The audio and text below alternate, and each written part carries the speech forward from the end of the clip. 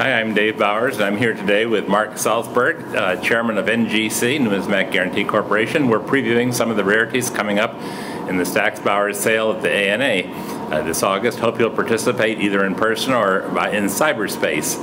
I have in my hand here an octagonal 1915S Panama Pacific uh, $50 slug.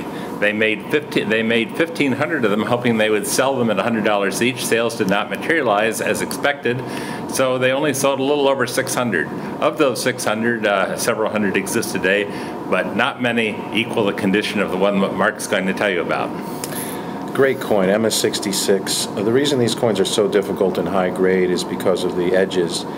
Uh, the high points on this coin are the, the helmet and the face, and the owl on the back, the, the wings. Uh, this one happens to be uh, very, very clean, really desirable. $50 gold pieces are coveted by collectors, um, and it's heavy and a very, very important coin. I think it's uh, rarer than the round uh, because of the edges and uh, just a very, very desirable coin. Beautiful.